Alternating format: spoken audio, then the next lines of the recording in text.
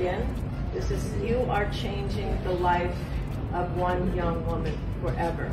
Almost anybody that's in this group can go on to become Miss Universe. I do believe it is someone's destiny, and you together and collectively with your opinions and your votes uh, are going to come together to actually change, let a young woman fulfill her destiny.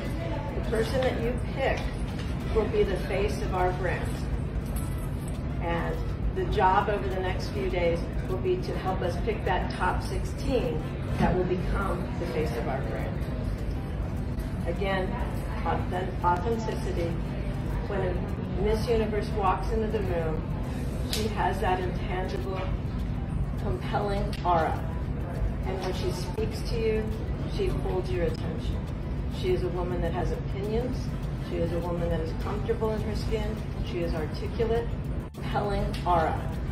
And when she speaks to you, she holds your attention. She is a woman that has opinions. She is a woman that is comfortable in her skin. She is articulate.